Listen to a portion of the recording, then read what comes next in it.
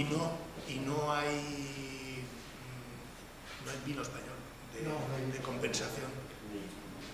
Hombre, pero la verdad que es un pedido decía el director que estos días, chocolate. Eh, un día como hoy sí. No, hombre, claro. Bueno, eh, la sesión de hoy, el título Arquitectura de Arte y la figuración, continuamos con el ciclo de, de, de arquitectura. Bien. eh, bueno, yo quería decir que este seminario, este curso, el seminario, la, no digo la palabra seminario por dentro, eh, creo que tiene algo la dimensión de seminario, porque en las sesiones que hemos tenido hasta ahora ha habido debates siempre, eh, debates muy, muy interesantes al final de cada, de cada sesión, que eso le da, le da un carácter de seminario que que- que- que te cabeza, ¿no? De terminar y, y bien, eso sí, de terminar, no, no, no, no, Venga, vamos allá, sí. Bueno, pues Presenta a Santiago, ya le- ya le conocen, ya. Estamos en Eh, no nada, José Ramón, que mm, bien, reitero la- las gracias que ha dado José Ramón de asistencia. Eh, también favorece, entiendo, el primer seminario que, ah, perdón, sí, primer seminario que hice aquí, e incluso el segundo, todo eso partido entre medias por la crisis sanitaria.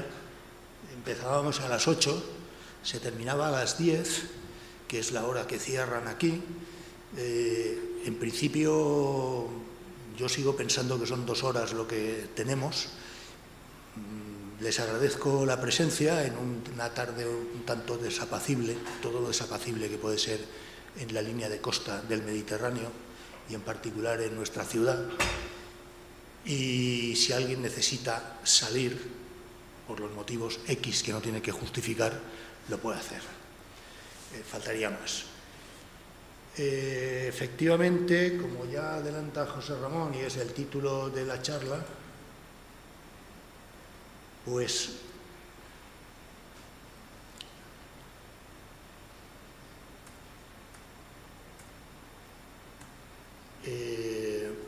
el título genérico es Arquitectura y Arte en la Modernidad y el, de lo que pretendo hablar hoy es, entre otras cosas, de la crisis de la figuración. Y si consigo no tener la otra...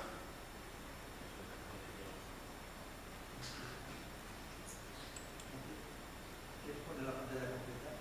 Eh, sí, sí. Ahí, ahí, un poco arriba. Ahí, ahí, ahí. No, no. No. Ahí.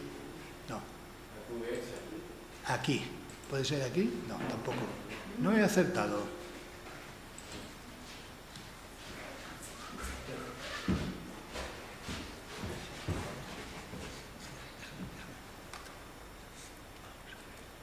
Me temía que iba a ocurrir. Ese, estupendo, gracias.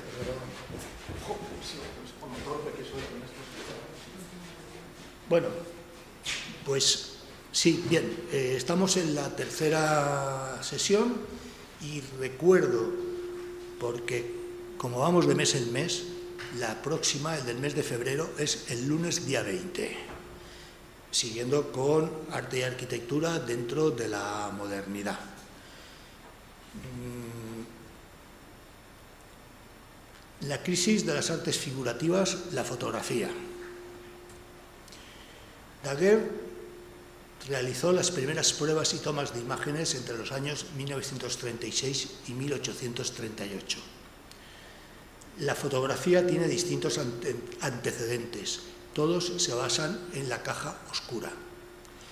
Ya en la primera sesión mm, que hablé de, de la supuesta o hasta donde yo aspiraba, supuesta modernidad o renovación de, conceptos, de estructuras en el gótico con respecto al, románico o el renacimiento con respecto a, toda la producción medieval, pues enseñé una imagen de Alberto Durero en la que se veía, el, digamos, el truco de eh, proyectar, aprovechando la luz que entraba la luz natural que entra por una ventana, que eh, se ponía un marquito y reflejaba en la pared una figura.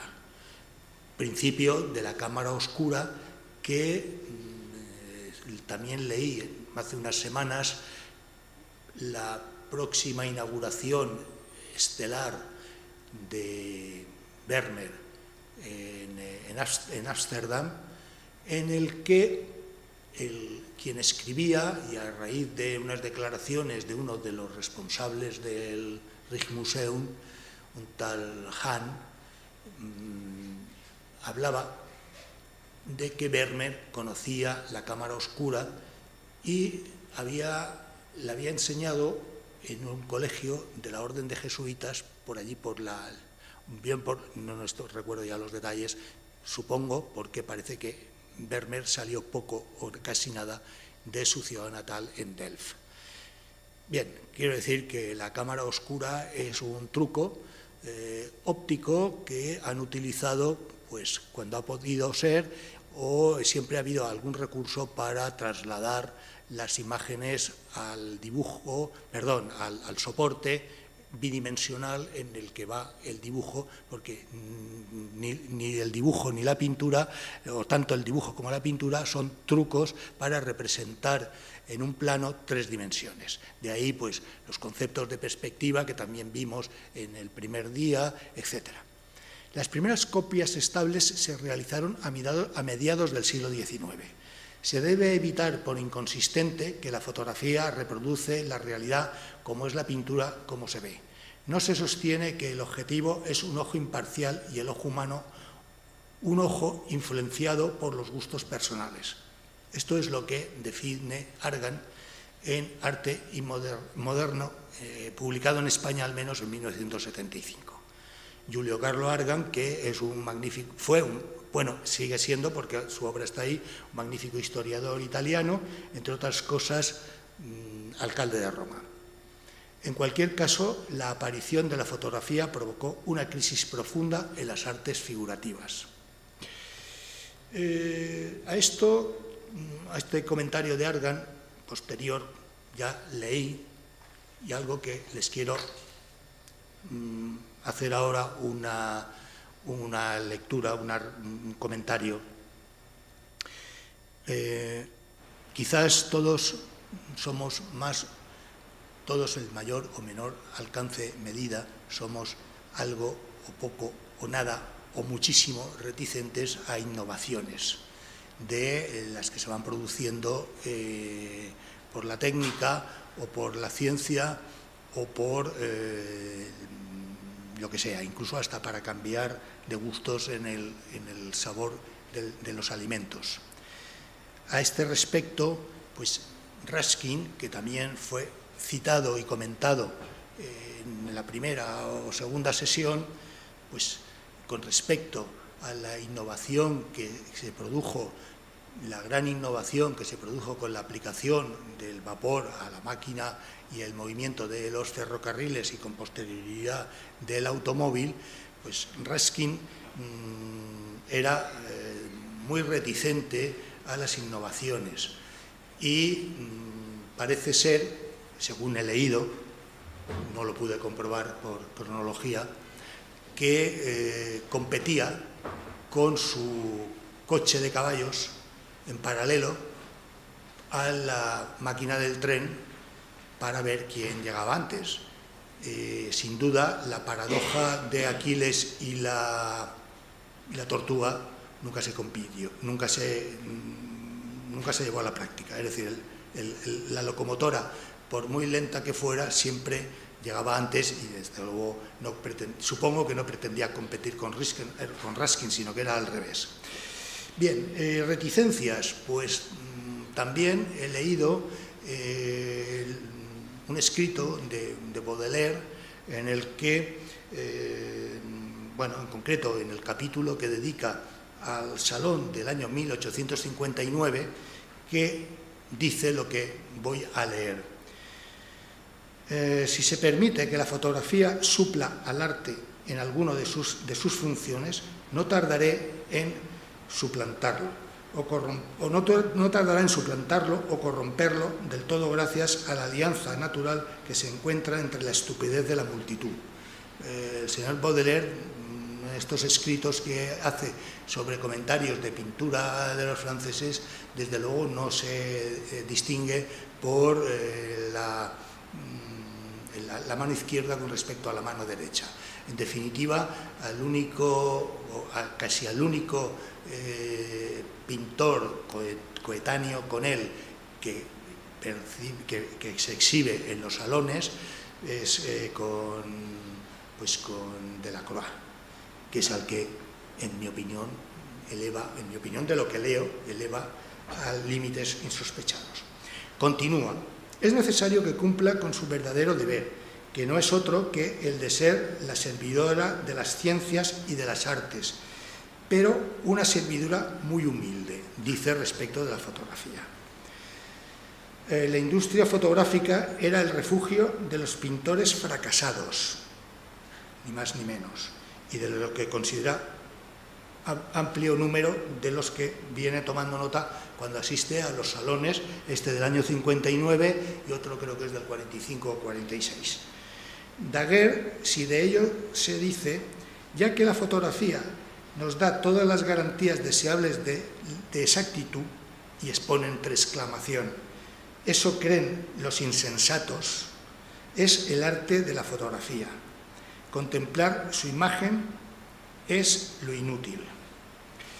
Bueno, un párrafo más respecto a las opiniones, no la de Argan, que estima que la fotografía tal, pero evidentemente si Baudelaire levantara ahora la cabeza, comprobaría cómo no hay museo actual que no tenga una sección de fotografía o una sección incluso de fotografía en movimiento, es decir, de películas pero el señor Baudelaire ya no está entre los presentes. De todos modos, insisto que el señor Baudelaire no se evita eh, adjetivos negativos de los pintores coetáneos y de los observadores.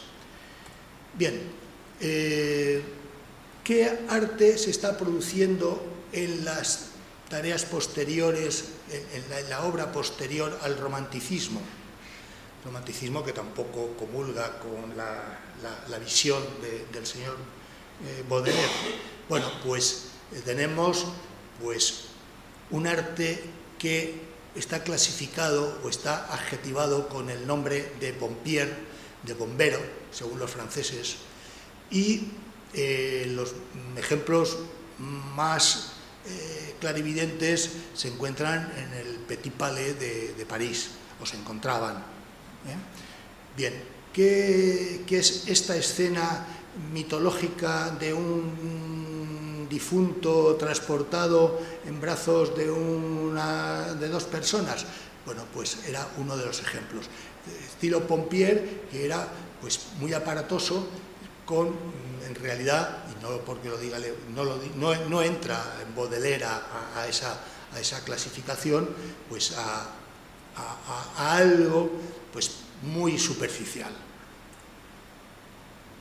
Esta, esta escena está también, o estuvo montada en, el Petit Palais y representa lo que en las últimas décadas del siglo XIX pues motivó el cambio de estructura o de contemplación de los artistas. Eh, los artistas que se reunieron en torno al Barbizon, que se conocen como escuela de, con ese mismo nombre, Escuela de Barbizon, son los que inician la pintura, abandonan el caballete de estudio y o abandonan con preferencia el caballete de estudio y salen con el caballete a pintar al aire libre. Esa pintura al aire libre es lo que viene a representar esta escena donde eh, en, el, caballete hay una sombrilla para que la luz no moleste, o el sol directo no moleste al pintor, pero el pintor lo que quiere es pintar al aire libre con toda la rapidez que se produce porque el sol no para. En el estudio, eh, ustedes saben que los estudios estaban orientados a, norte, que recibían la luz constante, fría, porque el sol, su recorrido de este pasa por el sur para llegar a poniente, y la luz es constante, la orientada al norte. Eh, entonces, la luz natural no variaba salvo que se hiciera, pues, o fuera muy temprano en el día o muy tarde por la noche. Esta es una representación de la caja de pintura, el caballete, el trípode, eh, los colores y la sombrilla. Bien, eh, ya las últimas décadas del siglo, del siglo XIX, los últimos, años más bien, pues es la aparición de los impresionistas. Previamente estos salones a los que aludía antes, del año 1859 y 46, eran los de eh, los últimos románticos o el clasicismo, mm, eh, herederos o discípulos de David como el máximo representante del clasicismo en la pintura francesa, se produce ya el salón de los refusés, es decir, de los no admitidos que van a casa del fotógrafo Nadar, que es el que impulsa, la, como bien saben, la fotografía como nueva eh, disciplina, sin entrar a si la considera arte o no, pero nueva disciplina y nuevos canales de captar las secuencias del de, de las personas y, por último, llegan los impresionistas que eh, toman el nombre de un cuadro de Monet, no este precisamente, pero tampoco lo he encontrado. Bien, como les dije el primer día, intento poner fotografías que he sacado con mejor o peor calidad de visitas a museos o edificios y de ahí que pueda ponerles fotos del exterior, fotos del interior, etc. En los museos extranjeros, en general, no te hacen una llave inglesa porque estés fotografiando eh, un cuadro como ocurre en los museos españoles o en algunos museos españoles. Y bueno, pues eh, con mejor o peor calidad, incluso como aquí que he fotografiado hasta el marco, porque si no mm, se me iba la foto, pues bueno, hay una pintura de, de Monet que, que representa eh, bueno, la pintura al aire libre, el impresionismo, en el Petit impresión Amanecer, de del año 1872, en el que la teoría de los impresionistas ya también tiene que ver con los avances de la ciencia, con el positivismo, eh, con la dispersión de la luz, que por otro lado pues era, era perfectamente conocida porque eh, todos se habían fijado en el arco iris y cómo pues, a través de cristales o de vidrios se produce la descomposición de la luz natural en los, para ellos, tres colores básicos, pero todo esto son teorías que luego pues, eh, se dice que no son tres colores básicos y son cuatro, pero en definitiva en pigmentar eh, los colores y que mm, la retina los asimile en esa masa en la que el, agua que se estaba evaporando del río, en la salida del sol, etcétera, etcétera, pues produce esos efectos que incluso son de profundidad, pero incluso, como hablaba antes, pintados al aire libre. Otra pintura de, también de Monet que viene a eh, también viene a llamarla impresión mm, al amanecer o, atardecer sobre el Sena, y ya no desprecian en absoluto las nuevas tipologías constructivas. Esta es la estación de San Lazar mm, en plena actividad. Las máquinas de vapor que entran o que salen llevando los trenes o maniobrando, el vapor que forma parte ya de la atmósfera del, del ambiente interior de la estación, y la incorporación, como digo, de esas nuevas estructuras. En la lección, en la, seminario, en la clase primera o segunda, pues hice un repaso de algunas de esas estaciones que eran las innovaciones y las nuevas tipologías que aparecían en la arquitectura de, eh, sustentada en estructuras del hierro y, o construidas con hierro y que además, pues como ocurre aquí en, las claraboyas, que permiten la entrada de luz no solo por los laterales, sino que en definitiva contribuye a mejorar o a variar las composiciones de la arquitectura tal como se había producido hasta ese momento. Mande.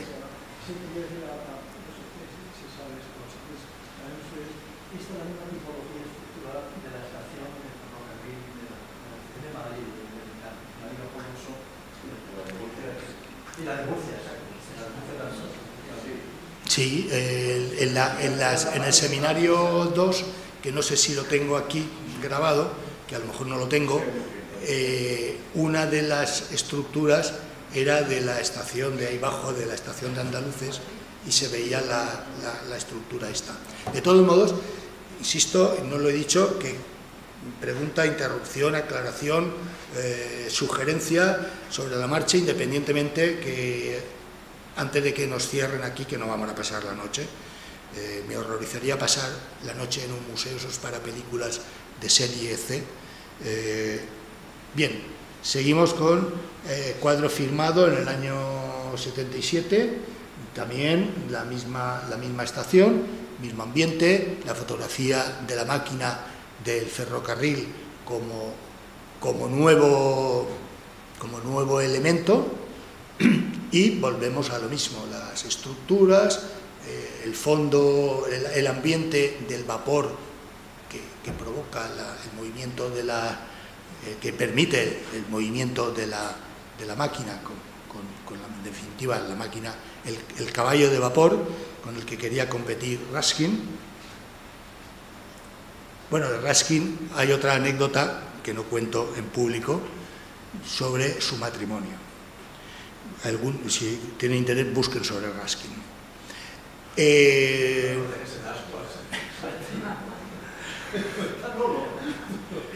eh, Raskin era un interesado del arte mm, griego, del neoclasicismo. No conocía más que las figuras, el mármol absolutamente blanco, y se, he leído escrito, no ahora, ¿eh? en tiempos, no sé ni dónde, que eh, no consumó su matrimonio con la señora que alcanzó a casarse legalmente con él. El libro comentaba si se horrorizaba por dos motivos, porque el bello público de la señora le horrorizó o porque la señora el día este estaba con la regla. Entonces no consumó el matrimonio, la señora consiguió el divorcio y casado en segundas nuncias con otro señor cuyo nombre no me acuerdo ni, ni desconozco, tuvo tres hijos. El señor Raskin veía las figuras neoclásicas sin bello público, etcétera, etcétera, etcétera. Eh, es la interpretación que hacía el libro, y repito que no sé dónde lo leí.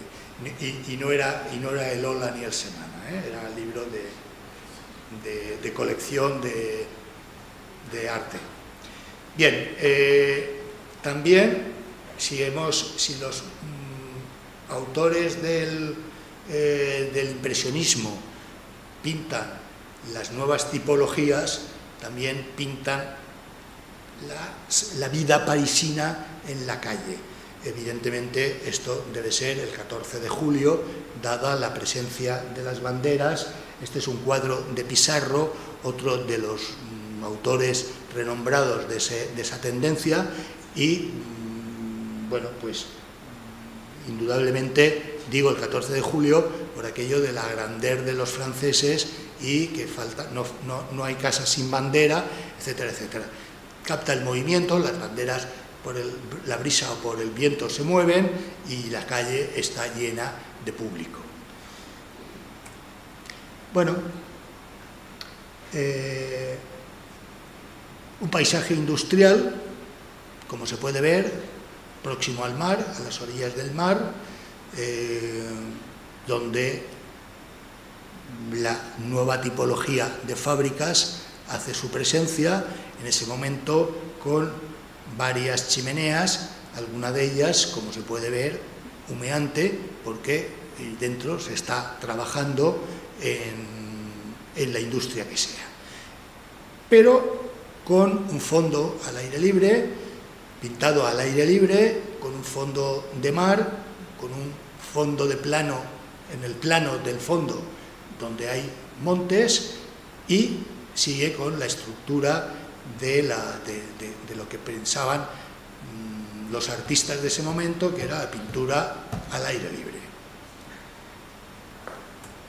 Y eh, la sugestiva pintura de Van Gogh en Arles de su, de su habitación, eh, en donde además pues, pues pinta la, pintura en la pintura y además pues, su pintura, porque los cuadros que hay en el fondo son suyos, son dibujos y, bueno, nos da el ambiente que tiene esa habitación, la cama, las sillas con los asientos de Enea, de, fibra, de fibra vegetal, eh, la, mesa con, con, la zafa y el cántaro para el aseo personal y, el agua y el, y el, espejo para contemplarse donde hasta hay una sombra que podría bien, ser, la, de, la del propio pintor. Bueno, esto eh, es subtitulado la crisis, de, la crisis que llega a provocar la fotografía porque, claro, Daguerre Hemos, hablado de, que Daguerre hace las primeras mm, placas eh, en daguerrotipo, que en definitiva era aprovechar la cámara oscura del fondo, donde había una placa sensible que se captaba eh, un, objeto gracias a la luz natural que, entraba y que eh, consistía, el objetivo era quitar para que entrara un momento la luz y cerrar, bueno, pues eso provoca que los pintores les interese ya poco o nada de todo esto que hemos visto, la pintura, mm, la pintura de interior, el retrato, los temas o temas de batallas o los temas heroicos o los temas mitológicos y mm, la fotografía les obliga los lleva, les conduce a lo que hemos visto, a pintar mm, de otra manera, a pintar otros motivos y mm, interesarse por la luz del exterior, ¿no? la luz de los interiores. Todo esto, además, pues, con la crisis que genera en la estructura académica oficial, la crisis en los salones, etcétera, etcétera, etcétera. ¿eh? Y como he dicho antes, pues la, crisis de los salones, eh, de, los que no son admitidos en los salones oficiales y se van a, mm, son acogidos por el pintor, perdón, por el fotógrafo Nadar. Bien, la arquitectura del modernismo. Cronológicamente y casi en paralelo a la aparición de esa ruptura de la pintura con el mundo académico, la pintura clásica o la pintura neoclásica, eh, en arquitectura se produce el modernismo. Lo que se ha llamado el modernismo, que toma distintos nombres según los países. Modernismo en francés, modernismo en, España, eh, estilo floreal en, Italia, Jürgen Stil eh, en, Alemania, Secession en Austria, es decir, siempre una denominación que pretende abarcar un término de ruptura con lo existente y de ahí esos distintos nombres que se da en cada país. El Art Nouveau, modernismo, etcétera, tuvo una aportación inmensa. En el transcurso de un quinquenio liberó la vanguardia de los revivals estilísticos, plasmó y difundió un lenguaje inédito que asimiló los procesos industriales en la clave de sus finalidades expresivas. Esto es lo que dice Bruno Chevi en Arquitectura Moderna, allá por aparecida en España en el año 80. Aspectos formales. Concepción abstracta y estructural, fuertemente dinámica, estilo floreal, concepción lineal, bidimensional y simbólica, concepción constructiva y geométrica. Es lo que dice Schulin Madsen en su libro Art Nouveau, publicado en España allá por el año 67. Art y la racionalidad del movimiento moderno tuvieron sus puntos de origen en la actitud ante la naturaleza. Una vertiente desarrolló la flor, el tallo y el ritmo, el ornamento. La otra, la exactitud, la lógica y la estructura, lo constructivo. También lo dice el mismo autor, Schudematsen.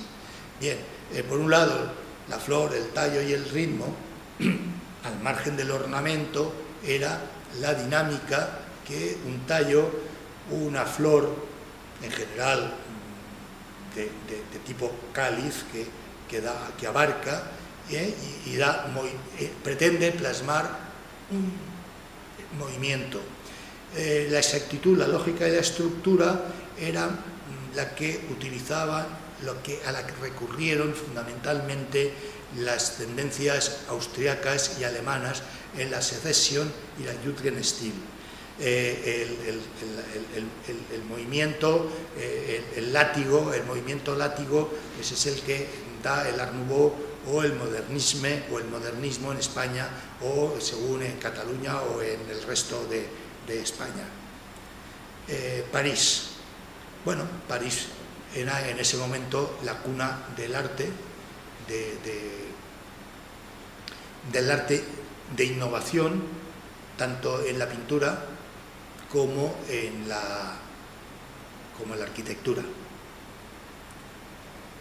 El, Gran Palais mm, no tiene nada que ver con el, con el modernismo, pero sí con las innovaciones de lo que hablábamos el otro día, de las estructuras de hierro, estas cubiertas, eh, esta fachada absolutamente neoclásica o pomposa o de, repetición de los elementos mm, arrastrados durante siglos por la arquitectura en Europa, mm, pues estas cubiertas fueron posibles gracias a la utilización del hierro en las cerchas, aquellas que ya vimos en el seminario 1 o el 2, en el 2, y, lo que hemos visto en, las dos pinturas de de Claude Monet y en la aparición del vidrio que ya a diferencia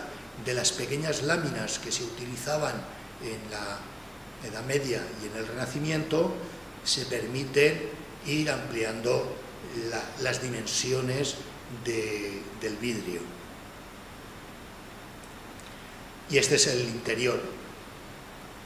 Como Creo que esta fotografía está hecha un día que el Gran Palais estaba cerrado, pues por eso es la veladura que me sale aquí de reflejos, porque está hecha, es foto robada desde el exterior. No había nadie para amenazarme a nada. Pueden apreciar que el interior, la parte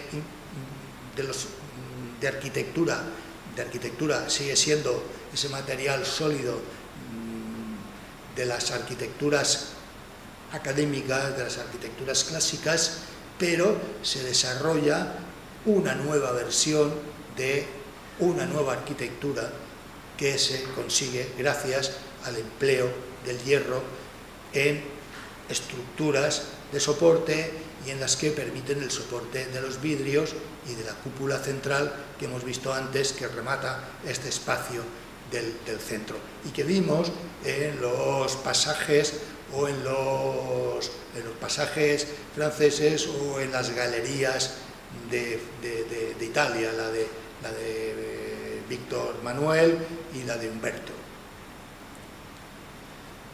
Bueno, el, transporte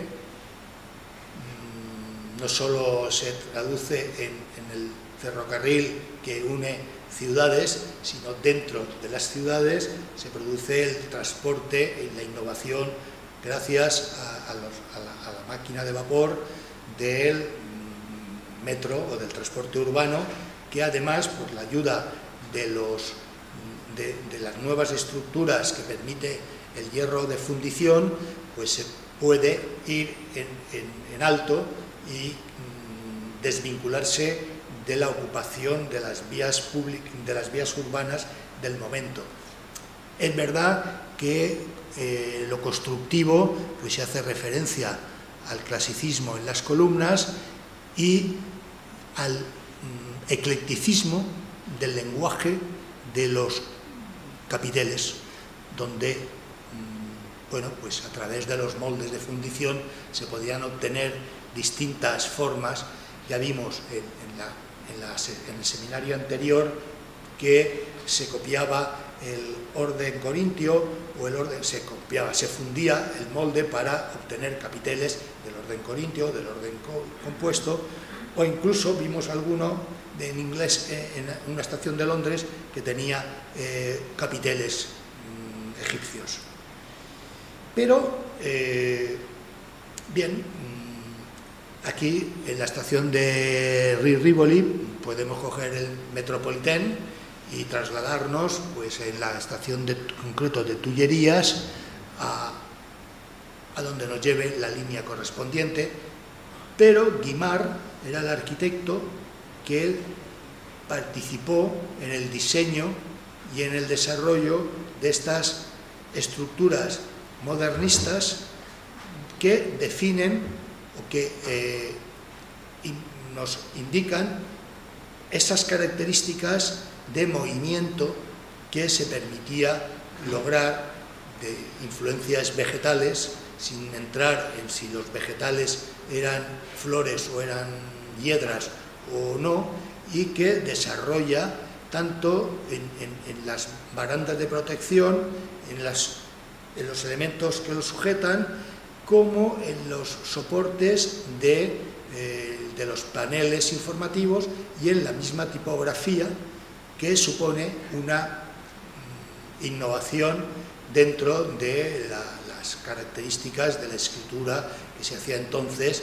Bueno, pues hay que tener en cuenta que se escribía cuando era la pluma y el, plumín este, con el que a lo mejor los que somos de un poco más de edad teníamos, ¿eh? y que la caligrafía hacía letra fina y gruesa según que abriera la punta del, del, plumín. Y que, como pueden apreciar, pues aquí en el, en el jardín de Tullerías hay unas barandas de protección de cerramiento para eh, aislar el interior del jardín muy diferente a lo que es la pieza diseñada por este por, eh, bien la también hablamos de otras tipologías nuevas no solo las estaciones y las fábricas que hemos visto en las pinturas que fueron hechas por los impresionistas también los grandes almacenes. Y los grandes almacenes del momento, pues sin hacer propaganda, porque no lo tenemos ahí a la salida, pues la Samaritaine, ¿eh? que mm, bien pues vuelve a recuperar por un lado, gracias a las estructuras de hierro, permite mm, muros mm, más livianos que contribuyen a la iluminación de los interiores y lo mismo que hemos visto en la, escena anterior del, metro, del metropolitano, la incorporación de la tipografía.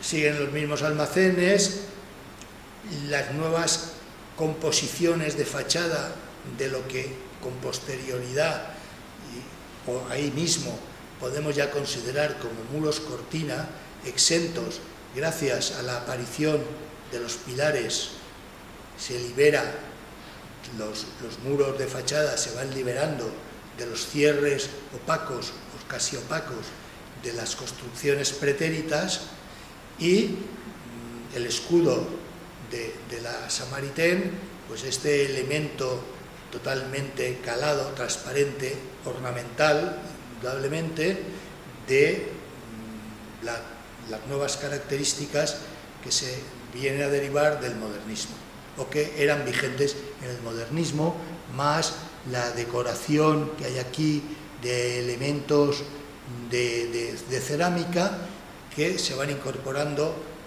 a la arquitectura. Y la Samaritaine tiene esta estructura interior donde no sabemos si estamos en el teatro, si estamos en un sitio de acontecimientos, etcétera, etcétera, donde rige la, la cúpula. Volvemos a lo mismo que es posible gracias o lo que facilita las estructuras metálicas y la aparición del vidrio. Bueno, en París hay distintas soluciones, distintas construcciones de, arquitectura Art Nouveau. Eh, en concreto, pues esta eh, es una casa también proyectada por Guimard, en la que hay distintos elementos, hay movimiento, gracias a la aparición de estas curvas en los balcones, en los distintos niveles son distintos, eh, en unos niveles en el inferior, a modo de zócalo de esta construcción, hay este elemento que patentiza con el color gris, eh, que a su vez pues, introduce las cerámicas para mm, variedad de color, de formas, de soluciones, y en los pisos superiores pues va variando los salientes de los balcones, de los cuerpos cerrados o de las formas de las cubiertas eh, en una reinterpretación de la mansarda, que es un invento de, o una disposición del arquitecto eh, Mansart del siglo XVII, finales del siglo XVII, que aquí mm, Guimard la reinterpreta con esa curva.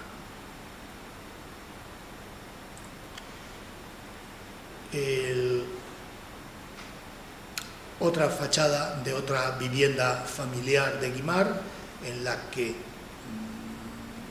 mm, las curvas, tanto en, los arcos como en la decoración y los avances y retranqueos en la fachada, porque esta fachada no es esto, sino que además se adelanta con este otro cuerpo para mantener la alineación y retranquea y dentro del plano general de fachada hunde eh, este otro cuerpo importante, más este otro del balcón, más la doble fachada que genera el remate de, la parte central del último cuerpo, pues mm, va eh, organizando movimiento, etc.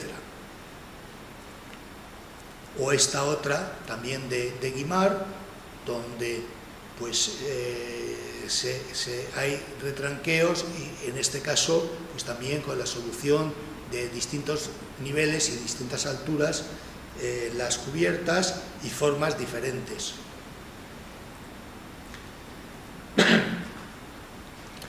Esta otra, esta otra fachada también de Guimar, en la que introduce la cerámica para, por un lado, la parte estructural, pues eh, los, pilares, eh, que, que permite aligerar la solución de fachada con la introducción del hierro y del, y del vidrio y la solución de la mansarda que libera de nuevo de las estructuras opacas de las convencionales de la primera mitad del siglo XIX y descendiendo hacia el, XVIII. Bueno, otra solución de, la, de, la, de la, solución de, de las entradas del metro, en la que se habrá restaurado en su momento hasta los mm, plafones de las luminarias, en la que está eh, el, tallo vegetal crece y al final aparece la flor que se reutiliza o que se aprovecha como el elemento ilumina. ¿eh? y lo que hablábamos antes, pues incluso de la tipografía para la rotulación de, que indica eh, la presencia del metro y la parada en la que nos encontremos. encontramos. En este caso hemos viajado de Tullerías a la Cité. Bien, otro foco importante, importantísimo del modernismo está en Cataluña y en particular en Barcelona y el que desarrolla Gaudí por un lado o Domènech y Montaner por otro, del que ahora eh, el año o el año pasado era el centenario de o bien del nacimiento o fallecimiento o de alguna obra importante en cuanto respecto a, a, Domènech y Montaner, el, Hospital de San Pau. Eh, Gaudí puede ser el, artista, arquitecto, constructor mm, que nos viene a la memoria siempre, podemos asociar Gaudí con el modernismo, el, modernismo con Gaudí y ellos con, con Barcelona, que no son los únicos que no es el único arquitecto. les voy a enseñar algunas, eh, algunas obras de Gaudí, en particular esto es el Palacio Güell, que está en la calle que antes se llamaba Conde Asalto, luego cambió el nombre y es una travesía de las Ramblas. Es un edificio que pertenece a Diputación de Barcelona, que se restauró mm, con eh, cantidades económicas generosas y por el arquitecto de patrimonio de la Diputación, Antonio González, y estas fotos las obtuvimos con motivo de una visita que hicimos eh, organizada por el propio Antonio Gaudí, eh, perdón, perdón, Antonio Gaudí no podía organizar por Antonio González, y eh, bien, son las fotos que de mejor o peor calidad mm, les voy a, mostrar. La restauración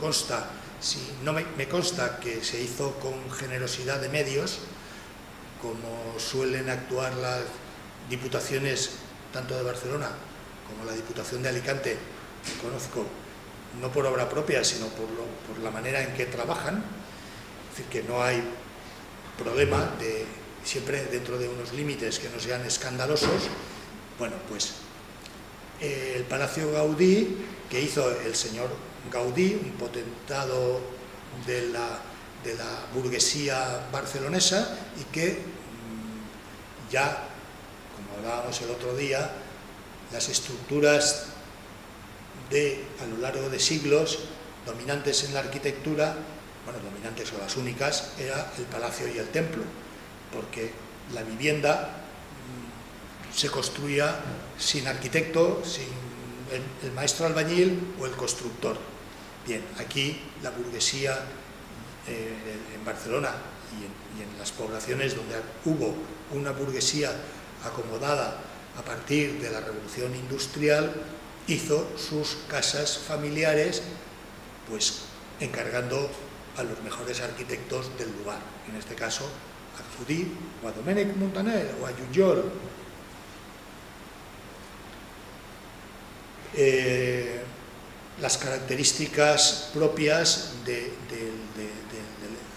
de la arquitectura de Gaudí. Primero, piedra natural, segundo, adornos donde reluce el dorado, eh, los arcos estos parabólicos a los que tanto recurre Gaudí, formas exuberantes dentro de, la, tanto de la piedra tallado en madera,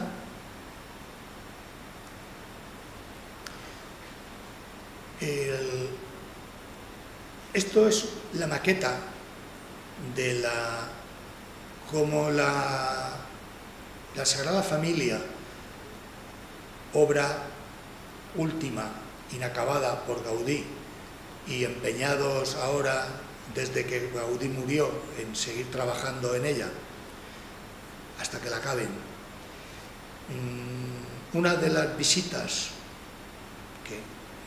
en esa el día siguiente de ir al Palacio Güell eh, fue una visita de obra, bueno, perdón, no de obra, sino a las obras de la, Sagrada Familia y se visitaba el taller o el despacho de obra dentro del, del, complejo de la Sagrada Familia, estaba la maqueta y, mm, bueno, quizás ustedes están, tienen la posibilidad de ver eh, a través del, de Internet las, imágenes reales de la Sagrada Familia y el desarrollo del estado de las obras al día de hoy, pero probablemente es menos fácil de, poder ver la maqueta que se elaboró en su momento de, eh, aspirando a cómo iba a ser la Sagrada Familia. Cómo pensaba Gaudí la Sagrada Familia, que además también saben ustedes que en los últimos años que se dedicó por completo a la obra, a la dirección de obra de la Sagrada Familia, se trasladó a vivir probablemente aquí, en este despacho, o, estas, o estos lugares donde, donde se trabaja en, las obras ahora de Sagrada Familia, pues ahí probablemente es donde estuvo viviendo Gaudí.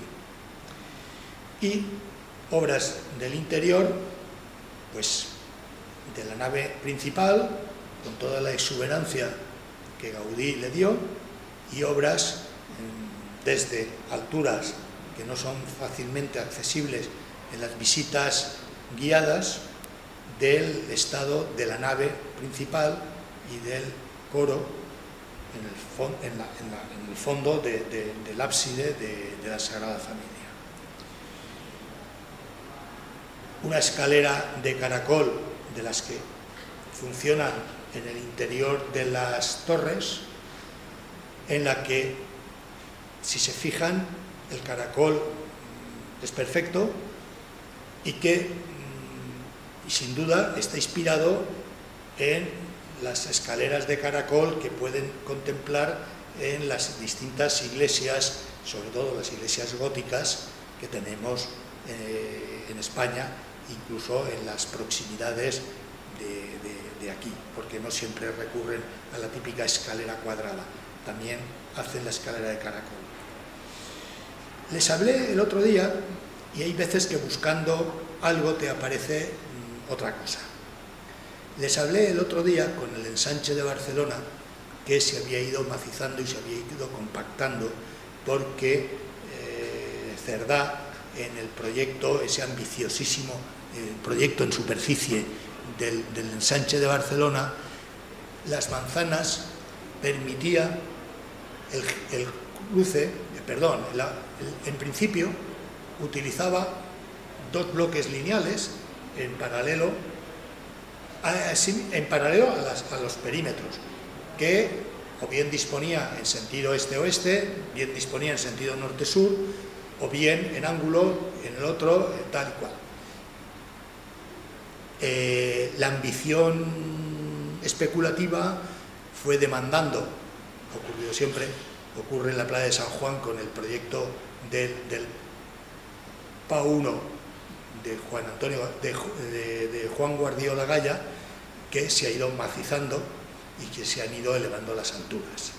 Bueno, pues en Barcelona se fue densificando, les enseñé una foto tomada desde las torres de la Sagrada Familia, la que se veía hacia el mar, la densidad que se apreciaba, tomada desde un punto de, una altura considerable. Y también les hablé que quedaban eh, pasajes, tránsitos de paso de una alineación a la opuesta, a la transversal opuesta, y mm, no había encontrado las imágenes. Insisto que a veces uno busca una cosa, no la encuentra, pero encuentra otra.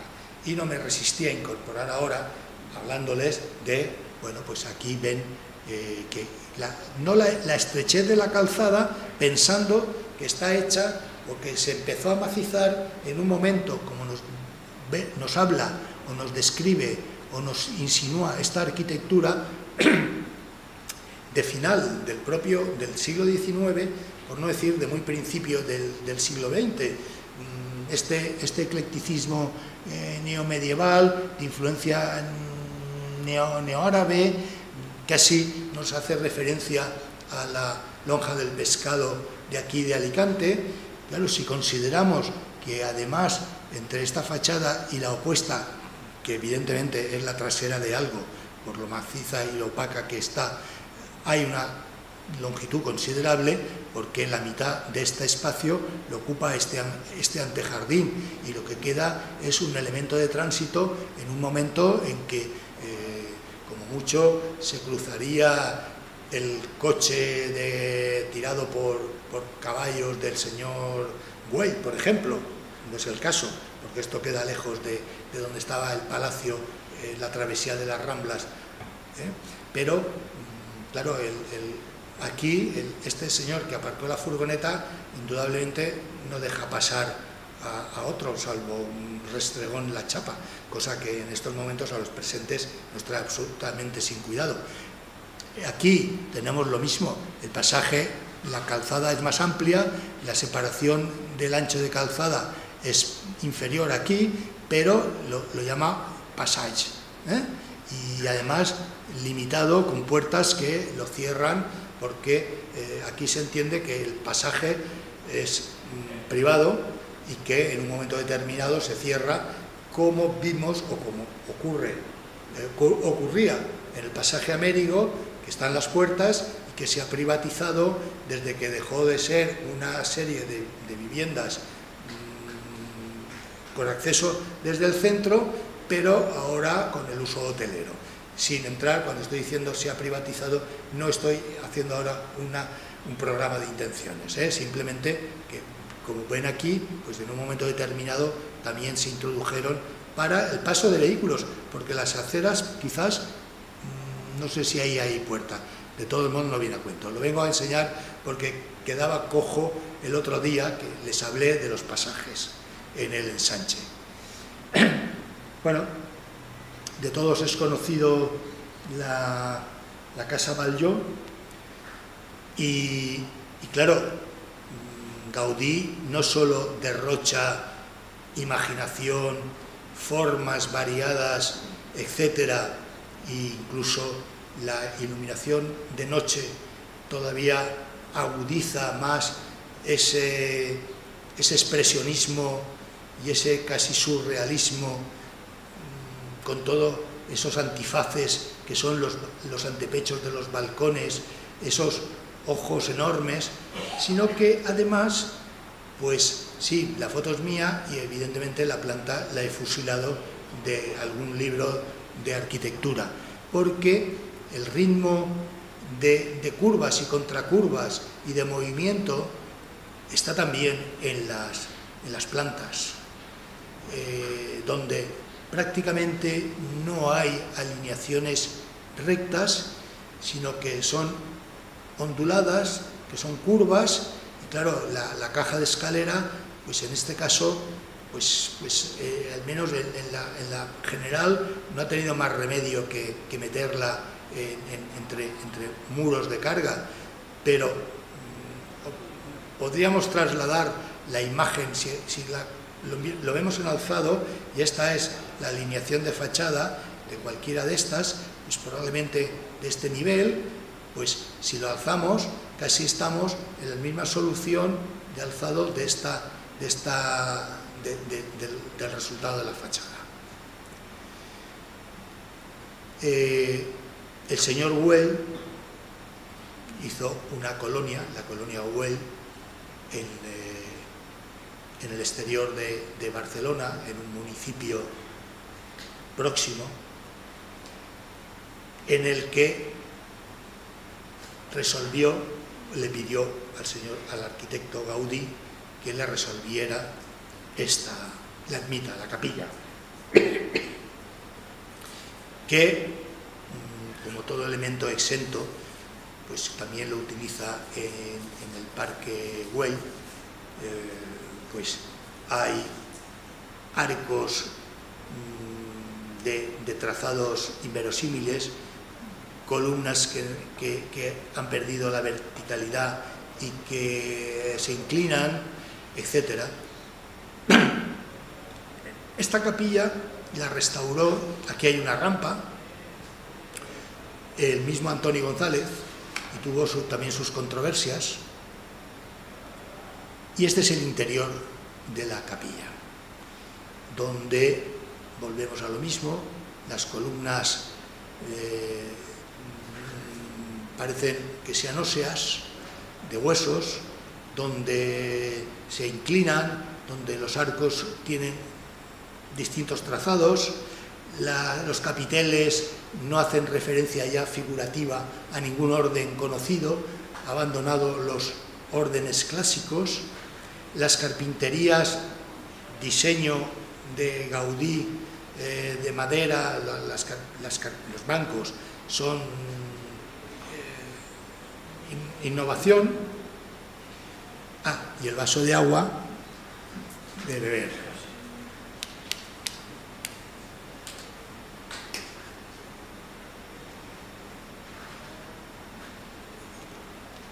El señor Altamira me mira o no me pierde de pista. Ahí arriba, está bien. Y Pasamos ahora, ya en, eh, aparte de París, hay, aparte de París, Barcelona, etcétera, hay otros núcleos también del modernismo de cada, de cada lugar y tenemos Glasgow, eh, que dio lugar a una escuela, los cuatro MAC eran familia, bueno, era familia, el arquitecto estaba casada con una de las señoras, eran dos arquitectos y dos arquitectas, o dos artistas pintoras. En estos momentos no recuerdo el detalle.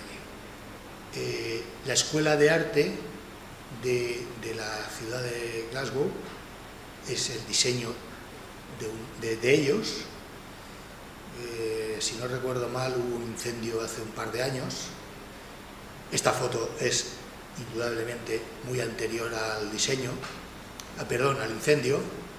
Eh, no tiene este color azul, probablemente eh, la diapositiva la fijaría el mal y cuando vean ustedes que yo les paso una foto en azul, la foto es mía, no está sacada de ningún libro y, está mal fijada desde el revelado y se va deteriorando a pesar de tenerlas encerradas en oscuridad. Bien, esta es otro, otra manifestación de, la escuela de Glasgow que esto es la escuela porque es la escuela de arte, ¿eh? En el que eh, los, los Macinton estos hacen lo mismo, eh, van liberando el muro de fachada de los soportes o van reduciendo los soportes estructurales y en beneficio de la permeabilidad de las fachadas con el recurso al hierro y, fundamentalmente al vidrio. Y eh, tanto pues para permitir la entrada de luz al aquí semisótano, porque en realidad esto, eh, la entrada es por aquí, y mm, genera esta otra escuela que a su vez en el punto figurativo da lugar a lo que se llama la rosa de Glasgow, que es un, dibujo geométrico plano de desarrollo que no sé si saldrá en algún sitio de estos. El interior que permite la entrada de luz y que en cierto modo compensa con algo aquí que es una carpintería oscura, teñida de negro, cuando realmente el modernismo tiende a aclarar los colores, a aclarar en colores más cálidos, más claros, incluso recurriendo al blanco, ¿eh? que de hecho pues aquí la carpintería es blanca en oposición al, negro casi absoluto o absoluto que está en este, en este otro lateral. Eh, el modernismo en todas sus facetas y en, todas en las diversas tendencias europeas tiende a recurrir al color blanco, Un interior, bueno, pues sí, aquí en concreto la, baranda es de color blanco, pero domina el, color oscuro, que por otro lado, mm, con mi máquina, haciendo mi, foto sin trípode y sin, eh, exposición, pues evidentemente el fondo sale absolutamente oscuro. Pero como vemos, pues recurren a, las líneas rectas e incluso al cruce de, barras generando estos cuadrados, etc.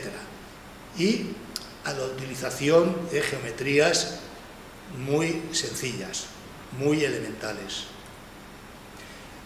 Otra de las manifestaciones de estos arquitectos se manifestaron en dos o tres teterías y no, no, hay aquí no veo la, famosa rosa. Sin embargo, a diferencia de las fotos anteriores, aquí el acabado si es blanco y quiero creer que de origen de final, del 19 o de principio del, 20 fuera blanco y en las distintas restauraciones se mantuviera ese criterio y no se introdujera mm, ningún otro, eh, ninguna otra gama cromática. De todo modo, pues, aparentemente la planta baja era el sitio de estancia y el piso es la planta de, superior, es donde están los asientos de la tetería. Y ahora pasamos a Viena, la, la eh, en Viena mientras en, Inglaterra o en, Inglaterra o en, Escocia domina el té, eh, el café es el sitio de, de, Viena, o son los sitios de Viena, los distintos cafés. Café Museum, cuyo interior diseñó Adolfos. Eh, la foto está incluida, quiero decir la foto, el café, el Café Museo está incluido en un edificio de la arquitectura tradicional vienesa del cambio de siglo y lo que interpreta es el interior que tiene este aspecto. Mm, no les estoy haciendo ahora ganas de tomar un café porque tampoco nos lo van a ofrecer, con lo cual paso la imagen, y sí que diseña el American Bar que está en una de las calles que arranca del, del Hof, del Palacio Vienés. ¿Qué caracteriza esta, este bar de pequeña superficie que además eh, yo lo fotografié en una ocasión en mi primera visita a Viena y tenía otra decoración. La segunda vez mm, lo han reestructurado o lo reestructuraron o recuperaron el aspecto original, como he podido comprobar mm, en libros de, arquitectura mm, que daban la imagen del origen que hizo Adolf en el que pues, va en una fachada realmente estrecha. De esas hay muchas en, Viena, con locales comerciales de poca amplitud, pues Adolf adora los mármoles exóticos, como se ve aquí. En el frontispicio este hace alusión a la bandera norteamericana, pero no descuida de poner elementos dinámicos de colores para en la, franja blanca. Y de nuevo eh, la, rotulación que mm, se diferencia de aquella que veíamos del modernismo en París y esta especie de trencadís de la que tanto uso hizo el modernismo en Barcelona y el propio Gaudí. Eh, lamento que estuvieran los parasoles estos delante, pero mm, tiene, es el inconveniente de aprovechar, aquí te pillo, aquí te hago la foto. en la secesión vienesa, porque además es un movimiento de pintores, de artistas, de escultores y de arquitectos y de diseñadores que vive y trabaja en Viena, tuvo la sede en la construcción del pabellón de la secesión, en el que mm, esa primera visita a Viena, pues estaba así. Restos de lo que quedó de las destrucciones que tuvo Viena a lo largo de la Segunda Guerra Mundial y que si basta ver la película del tercer hombre para, en blanco y negro, patear lo que nos quieren, los que quisieron sacarnos de la Viena, centro de encuentro y de cruce de espías de todo tipo y lugares. Eh, así estaba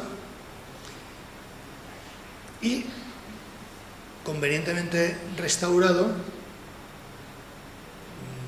esa foto, esta foto anterior es del año 78 o por ahí.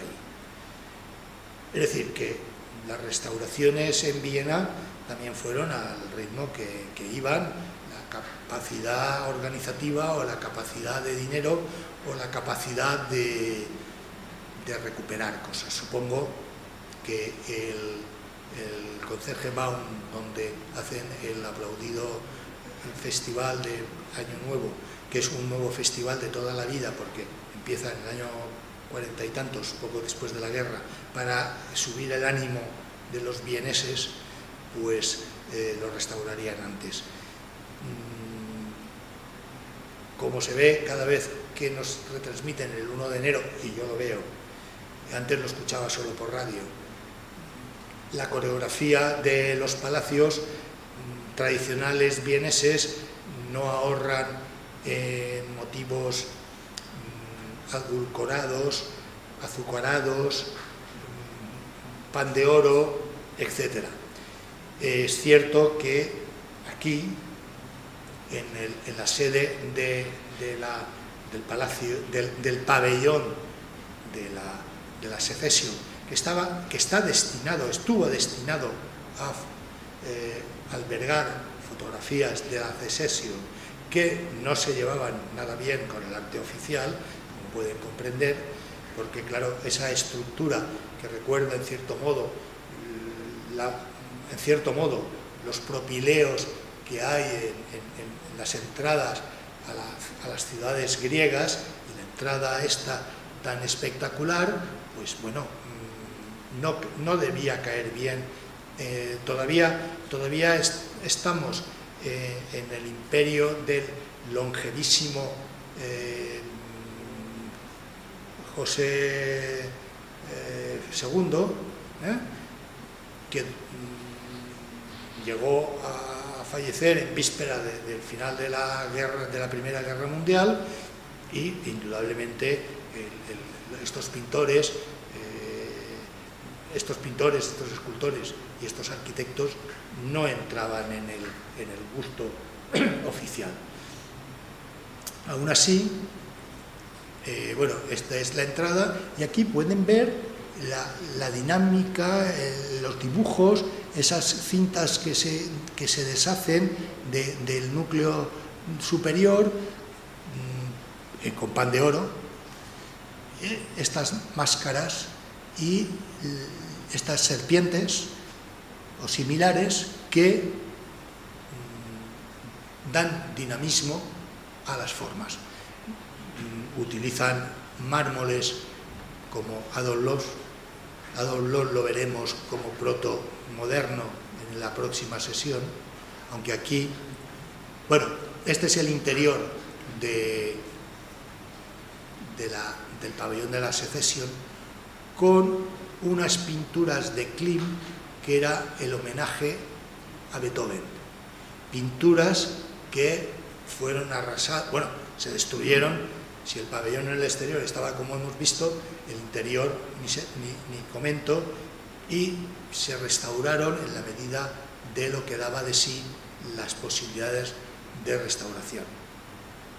Y haciendo el fondo neutro donde no había imagen.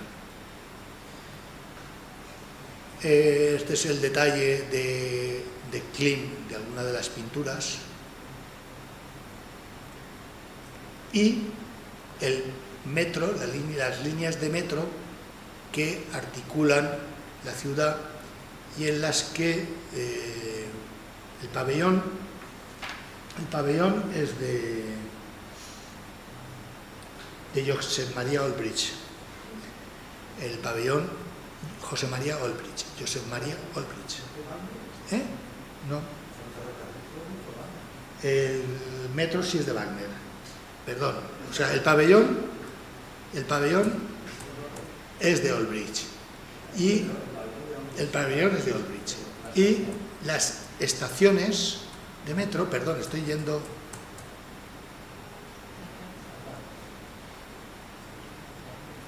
Sí, ¿eh? El pabellón es de Olbrich y las estaciones, las estaciones son de Wagner. ¿eh? Eh, esta línea que está, como se puede ver al fondo, en la plaza o ese enorme espacio de, la, iglesia de San Carlos del 18, pues mm, pueden, pueden apreciar la, diferencia de composición, de criterios que hay entre estos pabellones, que son dos simétricos, con respecto a la arquitectura barroca, tardo-barroca, de San Carlos. Esta línea, bueno, aquí se puede ver que es Karl Marx Platz, perdón, Karl Marx no, Karl Platz, que es la iglesia de San Carlos son dos pabellones simétricos en las que los tableros son de mármol blanco, las estructuras son metálicas y eh, esa línea, las estaciones las fue resolviendo el mismo arquitecto de tal manera que hay una unidad de criterio en el trazado, no en el trazado del recorrido, sino en la solución formal de las estaciones, que dan esa esa unidad visual al recorrido. Esta es la otra, paralela, o sea, son dos pabellones que, como muy bien se ve aquí, pues está destinada o estaba destinada a café cuando yo hice la, visita. En ese recorrido, eh, otra estación de metro, también de, de Old Bridge, y otra, eh, otra solución es en el psiquiátrico, que está en las afueras de Viena, eh, la iglesia. Hay que saber día y hora de apertura y a mí me supuso mm, ir en dos ocasiones.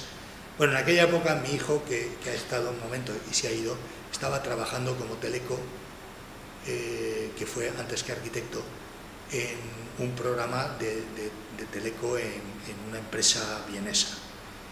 Y bueno, pues era un pretexto para, ir y entonces mm, fuimos un año y aparte del personal internado en el psiquiátrico, la iglesia estaba cerrada. Y ya pues aproveché el año siguiente para saber que tal día, a tal hora, que solamente era en horario de misa, se podía visitar la iglesia por dentro, el interior de la iglesia. Insisto que allí, en general, no me he encontrado con, no allí, sino en lugares del extranjero, que no me he encontrado con amenazas de por hacer la foto. Una vez me dieron una bronca tremenda en el Prado por hacer una foto a un cuadro. Pero claro, la culpa era mía porque yo me podía haber preparado la máquina con sigilo, haberme retirado un poquito, pero no es que me quede encima en el ángulo de visión del, guarda. Y claro, lo estaba tentando. Eh, la culpa fue mía, insisto. Eh, en, otros sitios del extranjero he visto como el, el paseante de sala, si te ve que va a hacer una foto, se aparta no porque no quiera ver, sino porque no quiere salir. O sea, no porque quiera tal. Bien, esto es de Olrich. Estructura mm, donde hay nuevos materiales, el bronce que ha ido tomando cuerpo mm, al oxidarse, la cúpula refulgente, eh, estos lenguajes que son novedosos, el interior es tal cual este, que el arquitecto alcoyano Corbotí, que estaba al corriente de lo que se hacía en, Europa, lo repitió en la capilla ya inexistente, como no, en esta, en esta ciudad mm, nada dura más que un pastel a la escuela de un colegio, en la casa de Carmen Domenech en eh, pintor Lorenzo Casanova, que se derribó hace mucho tiempo, en una casa, era una casa, mm, el exterior de una arquitectura intrascendente, pero la señora viuda de mm, Carmen Domenech, viuda de Tomás Aznar, le pidió la ampliación de la capilla y del jardín. Y eh, yo la capilla no, llegué a, no, la, no la pude conocer y el jardín tampoco, porque no era fácil, el acceso, pero en el libro de la tesis, el libro que es la tesis doctoral de, eh, García Antón, Irene García Antón, que fue profesora en la Universidad de Alicante, profesora de arte, hay una foto del interior de la capilla que mm, está inspirada en, esto, con toda la modestia de los recursos económicos y de los recursos de los, de los artesanos que trabajan en, nuestro en nuestra, eh, ámbito geográfico. Una de las vidrieras de la iglesia lo mismo, hecho de, al, pie de, a, pie de esto, con lo cual el fondo no sale porque me lo quema la imagen del fondo, perdón, la, imagen de la vidriera, pero se permite ver la vidriera diseñada por algunos de los diseñadores y eh, fabricantes mm, relacionados con la secesión. Lo mismo que las lámparas. También de también la caja postal es de, es de Wagner, el edificio de la, de la caja postal, como se puede ver ahí, caja postal de, de, de del Reich del, Este, y mm, aparte de lo apabullante que puede ser la construcción en sí misma, es el interior que mm, se puede ver por el detalle floral que era época de, Adviento.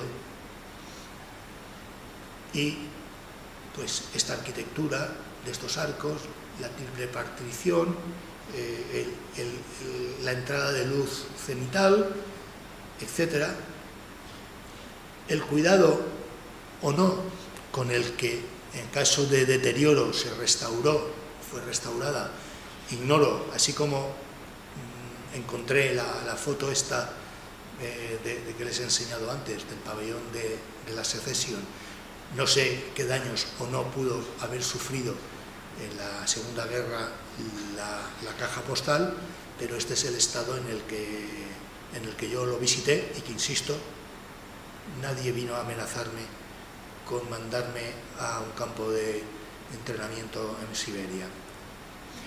Y Olbris se construyó ni más ni menos que esta pequeña casa para pasar eh, una, vida asquerosa, ¿eh? motivo de, bueno, pues de esa inspiración en los motivos clásicos, pero bueno, pues tratada de otra manera, por ejemplo, pues, pues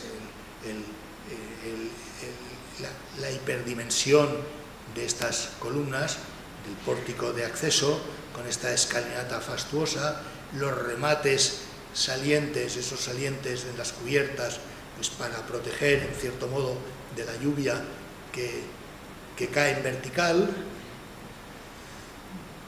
Estos detalles de cerámica azulada que están haciendo referencia al mundo mediterráneo del clasicismo y el tratamiento de los elementos mm, figurativos eh,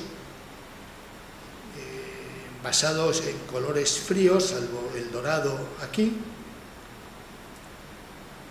el interior Creo que ahora, creo que en aquel momento era, estaba musealizado. ¿eh? Y mm, la opción de pagar la entrada daba que nadie te dijera nada haciendo fotos. Más o menos buenas, mis fotos, quiero decir, no buenas, pero les permite dar, me da una idea de lo que había y yo se la transmito a ustedes. La casa está restaurada, sin duda, y se ve la opulencia dentro de, los detalles. Esto es el baño, mm, el baño de la casa, baño de donde, donde asearse, ¿eh?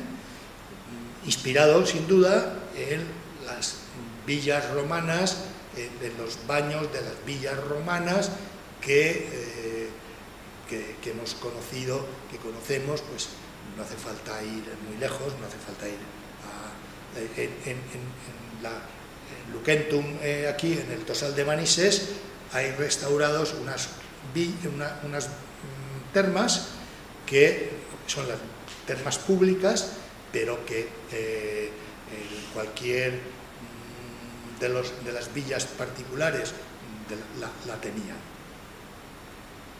Y detalles propios de ese dinamismo del Art en la secesión eh, de, los, de los austriacos, donde esta serpiente pues, tiene eh, el movimiento y, la, la, lengua, todo contribuye a ese dinamismo, ese movimiento hecho en, en teselas de un, de un mosaico.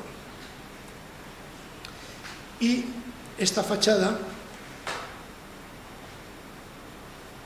esta fachada eh, ya es de otro arquitecto austriaco, de origen, bueno, del imperio austrohúngaro, ya no sé si directamente nacido en Viena, probablemente no, porque el imperio austrohúngaro, pues saben perfectamente que era Hungría, Moldavia, Austria, cuando se disolvió el austerio, eh, Viena quedó como una gran ciudad enorme, en habitantes, en un país muy pequeñito que es Austria, o muy reducido.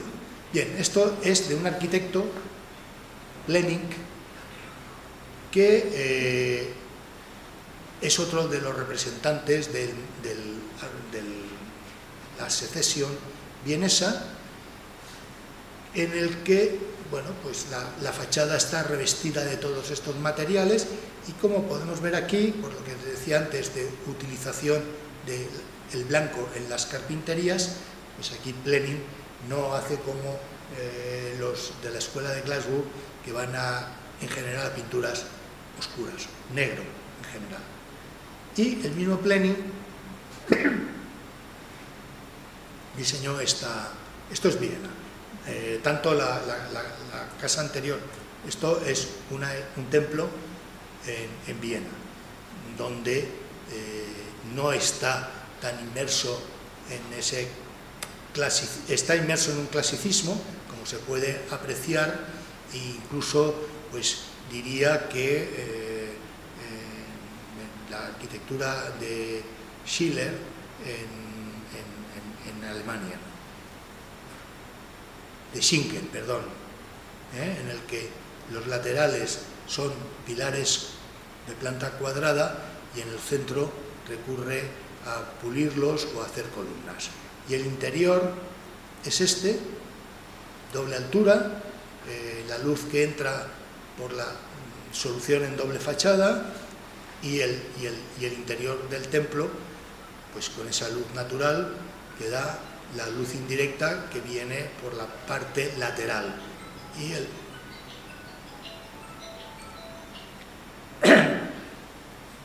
Darmstadt es una colonia de artistas, la Maltildenhof, en la ciudad de Darmstadt, en el estado de, el estado de lo que fue uno de los grandes eh, ducados de antes de la de, o de, la unificación de Alemania, que llega hasta principio del siglo XX y el, Gran Duque encarga la fundación de una colonia de artistas para que trabajaran libremente. Artistas que eran pintores, escultores, diseñadores, eh, orfebres, arquitectos y mm,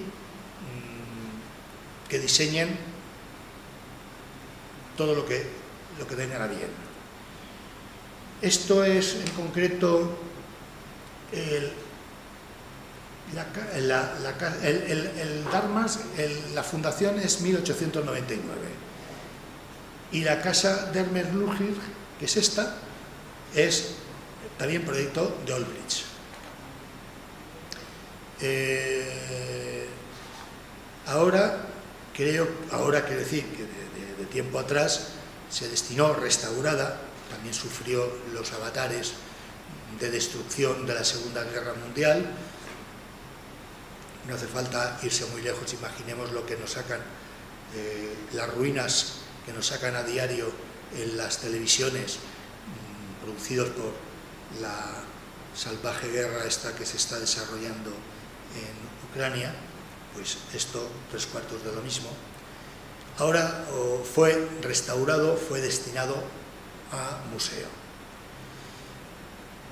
Aquí que vemos, pues mm, todo en blanco, esos aleros que también podemos ver en, en, la ciudad de Alicante, los pocos que van quedando, porque muchos han desaparecido, que es propio de ese momento, la decoración en, en oro o en dorados, esto es oro, y esa geometría que le da un cierto movimiento. Material cerámico en las escaleras y las dos esculturas de ella y él, y él mm, sobre estos pedestales que enmarcan visualmente el acceso. La torre que nos hace un anticipo al Art Deco, no recuerda, esto recuerda, esto es de la misma época, pero en cierto modo está recordando los remates de muchos rascacielos de, Nueva York eh, inspirados en el Art Deco de los años 20. Bueno, pues esto a modo de, de remate a mí me está recordando aquello. Y esto es, pues, eh, la torre de bodas y el templo. Aquí hay otros edificios más eclécticos porque con dinero de un potentado ruso se hizo un templo mm, ortodoxo con arquitectura de influencia rusa. Bueno, detalle de la, torre. ¿eh? Y un detalle ornamental urbano,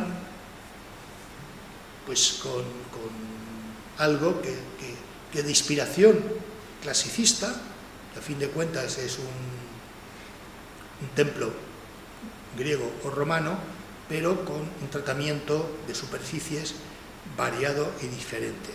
Ya no recurrimos a las órdenes de, del mundo clásico. Y la casa,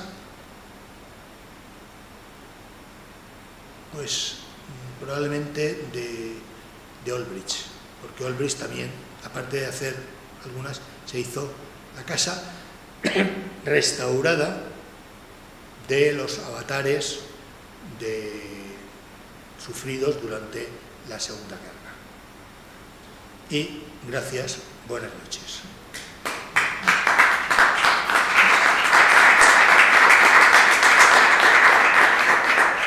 El turno de preguntas. Si alguien quiere preguntar.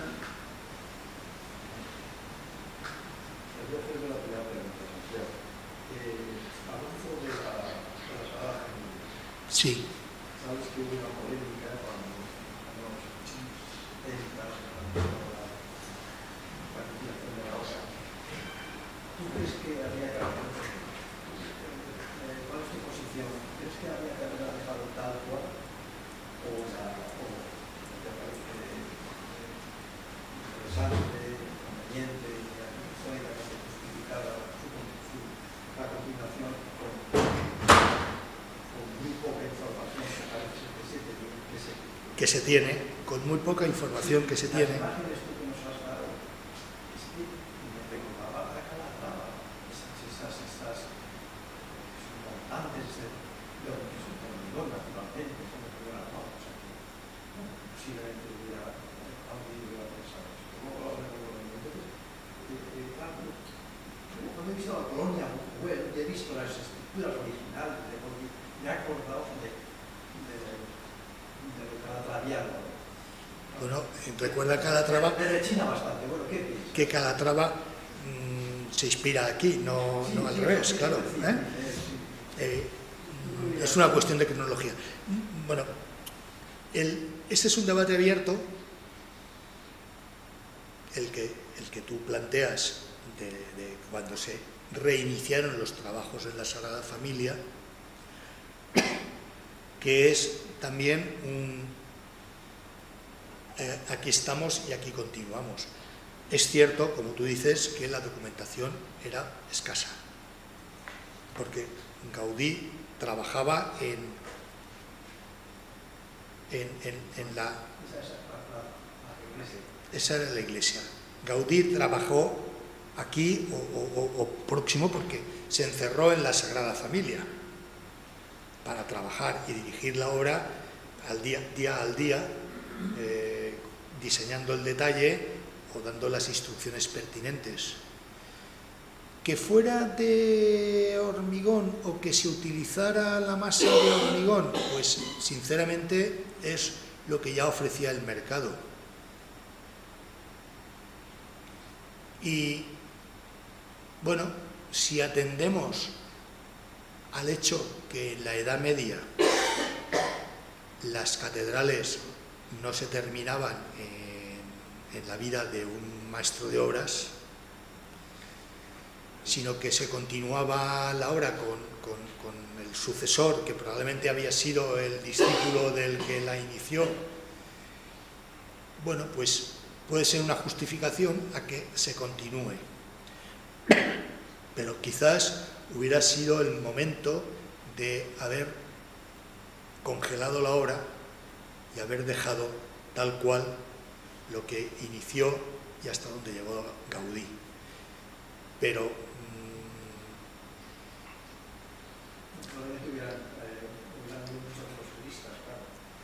claro, y, e insisto, y la visita que yo hice aquí fue a esa asociación que se llama pomposamente Academia de Partal, de El Partal, que toma el nombre de un palacio nazarí en Alhambra, pues celebrando el 25 aniversario de su creación, nos reunimos en Barcelona, fue la visita a, la, Casa Güell que he sacado antes, que fue esa tarde, noche, porque luego hicimos un recorrido por las cubiertas del Palacio Güell. Bueno, las cubiertas del Palacio Güell tampoco es enorme, pero el señor Güell se gastó ahí un pastón. La, sala de audiciones era la cúpula que remataba lo que os he enseñado. Y, había un, altillo, hay un altillo donde tocaba la orquesta. O sea que el señor Güell no se privaba de nada y la, y la restauración costó un pastón. Y faltaba restaurar el órgano, y nos comentaba Antoni Gaudí, que le dijo al presidente, presidente, eh, eh, no me queda dinero para el órgano, para restaurar el órgano, y estaría bien, estaría bien eh, tal, y Diputación apoquinó. Es decir, que no hubo reparo ni en hacer ni luego en restaurar. La, visita a la, Sagrada Familia la hicimos entrando en grupo y dividiéndonos en dos, unos iban a un sitio y otros iban a otro, al margen de las enormes colas que había para acceder. Yo hubiera dejado congelada la obra en el momento que, Gaudí murió. Otra cosa es la conservación. Otra cosa es el mantenimiento y conservación. Porque efectivamente no había tanta documentación, no hay ninguna documentación de cómo eh, Gaudí pretendía que fuera la, y sobre todo en los detalles formales no, no solo en los decorativos de, las torres, sino en, la parte figurativa de los pórticos. Ahora, lo que he dicho, las catedrales del medievo no las hizo una generación. Sin ir muy lejos, la, iglesia de San Nicolás en Alicante se inició en 1616 y se terminó casi terminado el siglo. Y hubo hasta cuatro o cinco maestros de obra que intervinieron. Y el ayuntamiento de Alicante, destruido eh, en el siglo, a final del, 16, del 17, con, por las el bombardeo que, que sufre la ciudad a manos o de las bombas de la Armada Francesa, se derriba y se hace el edificio actual. Se empieza ya cuando la primera recuperación, a lo largo del 18, con la primera recuperación económica que tiene la sociedad alicantina y se va haciendo a lo largo del siglo XVIII. Se empieza con una estructura de planta baja, espacial de planta baja, muy diáfana, que recuerda indudablemente las lonjas medievales, la estructura de, lo que fue el edificio anterior, lonja en planta baja, y la sala de, donde se reúne el cabildo municipal en la planta primera, se empieza con, esa estructura, pero a su vez se empiezan a introducir elementos espaciales y, y, formales, formales y espaciales barrocos. La gran escalinata ya no tiene nada que ver con las escaleras medievales. En la fachada aparece la columna salomónica que tiene una vida efímera en toda la arquitectura europea del barroco al margen del templete de Bernini eh, en, el, Vaticano, en San Pedro del Vaticano. Y a medida que se va subiendo de planta, bueno, por supuesto, la mitad de la fachada sur, la, primera y segunda crujía, tiene más altura porque la planta baja da mucha altura, la planta noble también, y la planta última son alturas, digamos, menos generosas, más convencionales. Sin embargo, la mitad posterior tiene cuatro alturas, porque ya son dependencias secundarias. Y se termina la fachada con, y se termina, digamos, la fachada principal, la fachada que da a la plaza, con elementos rococós porque ya estamos en la segunda mitad y finalizando el siglo XVIII. Y son las torres y es el remate de, que se diseña y que no se llega a construir de unos chapiteles piramidales. Pero en los planos de Chapuli, el último arquitecto, arquitecto maestro de obras, no entremos ahora en disquisiciones de titulación, eh, está en los dibujos, está diseñado las, dos pirámides. Claro, a lo largo del siglo XVIII van cambiando las modas, los gustos, las figuraciones y cada maestro de obras hace su aportación. Sin despreciar lo que hace el anterior, pero van introduciendo. En ese aspecto, eh, la iglesia de San Nicolás, hoy eh, iniciada como colegiata y hoy con catedral, la, pese al cambio de, mm, de cronología y de maestro de obras, fueron respetuosos con la idea inicial. Y la verdad es que planos visados por el colegio correspondiente no había. Y la innovación radical se produce ya en el siglo XVIII con, por un lado, la capilla de la comunión y por otro, con la crujía del fondo del, claustro, que es lo que llaman en, la iglesia en San Nicolás la zona de servicios, la,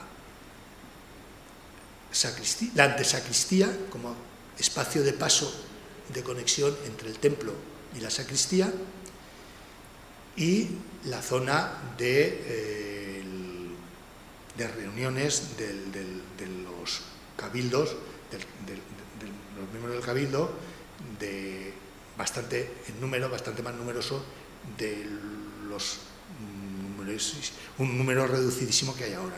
La, sala capitular.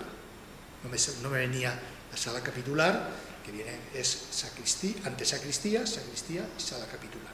Y la escalera que comunica con el desnivel de la calle San Nicolás. Eso mm, rompe ya, no, tiene nada que ver porque eh, son composiciones barrocas, fundamentalmente en la capilla de la comunión, que ideológicamente es lo que demandaba el momento. La exaltación, la capilla de la comunión es siempre un elemento exento, aunque se comunique interiormente con el templo originario, no solo en San Nicolás. En, Santa María también se da porque viene a continuación y cualquiera de las parroquias que tenemos en la diócesis de Orihuela o en la diócesis de, Valencia, que es todo el norte de la provincia, las capillas de la comunión están adosadas, nunca eh, incorporadas. O están al fondo, como ocurre en, en Elche, en Santa María de Elche. Porque corresponde a un cambio de liturgia que eh, viene de Trento, de exaltación de, de la Eucaristía, etcétera, etcétera. En las portadas en San Nicolás, si miramos la portada de la calle y la portada de conexión que no estaba prevista y se hace sobre la obra en marcha, conectar eh, el templo con la capilla de la comunión, vemos que la representación del cáliz con la forma circular está presente. Y si no está presente el cáliz con la forma circular está la figura, la, representación del,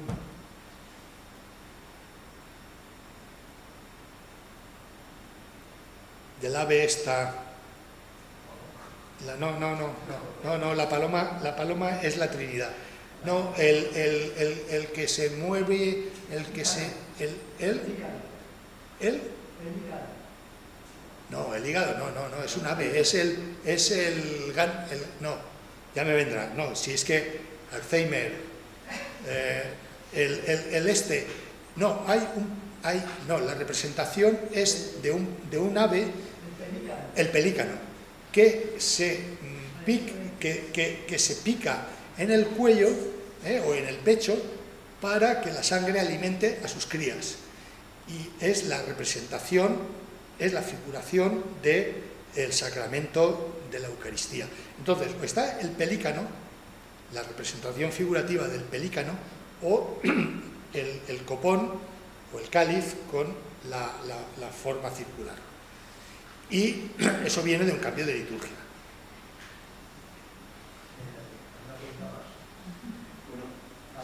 el tema de volviendo otra vez a, Gaudí, efectivamente iglesias y ayuntamientos y tal, tardaron como 100 años en hacerse, pero es que la literatura de Gaudí es muy personal, es muy distinto de lo que Serol fuera sustituido por Chaplin, que, que, se vaya a sustituir a, Gaudí.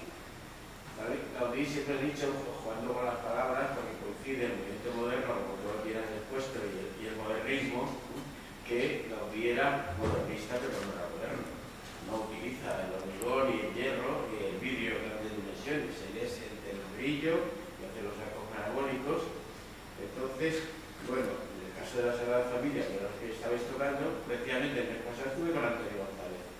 Y él eh, confirma lo que dice Santiago, no hay documentación de planos que dejar a Gaudí, simplemente sus ideas y algunos dibujitos y, y entonces él mucho más experto que, nosotros, por lo menos que yo, en la materia de, de Gaudí, porque es el que Google, no es nada partidario de se todo modo, lo que dicho Santiago, a mí me parece pertinente recordar eh, la implicación que tenía Gaudí en los detalles, es decir, que estaba, porque siempre recuerdo eh, cuando me contaron eh, que en la parte, en la, la, la plaza, con la cara que hay encima de la sala hipóstica,